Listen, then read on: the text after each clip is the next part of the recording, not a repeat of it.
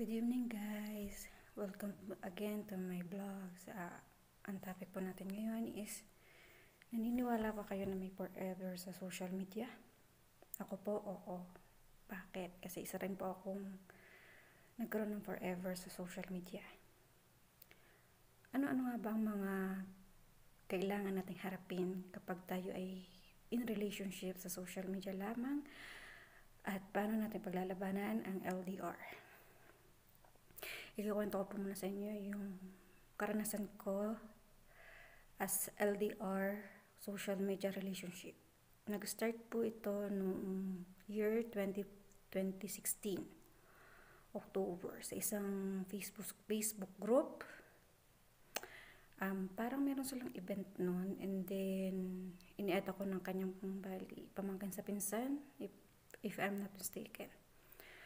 So, doon po nagsimula ang lahat naging mag-friend, kausap, tas kulitan sa group, hanggang sa nag-chat sa akin yung pamangkin niya sa pinsan na pwedeng maging admin ako ng group. So, ako naman, as OFW, kailangan ng uh, mapaglilibangan. So, umuo ako. Umpisa, wala lang. Ewan, basta may nakita ko sa kanya do sa profile niya na sabihin na natin nagpatibok agad ang puso natin. Charot. Pero noon, in relationship din po ako. So, ignore ko lang po yun. Tinatawag niya akong cute. Kada papasok ako sa GC namin, Hi, cute, kumusta? So, ang tawag naman sa kanya is Panot kasi pangalan niya, ano, no, not Panot, Pisot. Kasi ang pangalan niya is Piseng. So, yun, hanggang sa nagkukwentuhan na kami about sa nililigawan niya. Nagkukwento siya sa akin ng i-chat niya today, ang answer daw ay after one week. Pero nakakapag-post ng mga picture, nakakapag-update ng nakakapag-update ng mga post sa Facebook. So, yun. Sabi ko, baka naman may pinagdadaanan lang or something. Meron daw reason yung babae. So, yun. Sabi ko, yun, baka yun ang reason niya. So, until then, siguro mga ilang buwan din yun. December, December, December something, parang pa, o nga, December. Kasi, may naligo sa akin doon din sa GC na ang pangalan naman is Edgar. Kundi ako, kundi ako nagkakamali. Kasi limit ko na eh. Tagal na rin naman. So yun, naging kami, ini-announce ni Edgar, ah, Edward, Edward, not Edgar.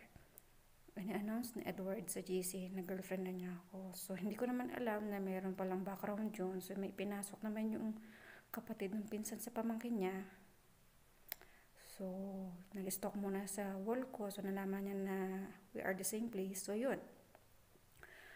Ginawa niya, piniem niya ako, kinuwento niya lahat. So, nag-break kami ng Edward. Ito namang si Piseng.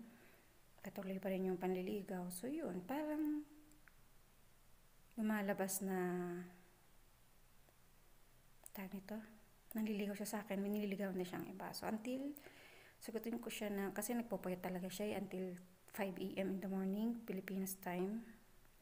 Dito mga 10, mga 5, 5 p.m. No? 12, 12 a.m. dito sa Saudi. So yun, sinagot ko siya ng December 18, 12 a.m. Saudi time, 5 a.m. Philippines time. So yun, So, umpisa okay lang. Tapos, syempre, maraming nakatago pa relasyon namin. Maraming pinagdadaanan. Marami daw, syempre, sa sitwasyon ko na byuda, may dalawang anak. Syempre, nakakahiya, di ba? Kasi binata siya. Syempre, ako nahihiya. Ayoko mo nang i-announce namin until February. February 16, ini-announce na namin. Nag-away pa kami niya na kasi nagko-comment pa siya sa ibang babae ex na niya, dati niya nililigawan. So, yun ang yun ayaw ko.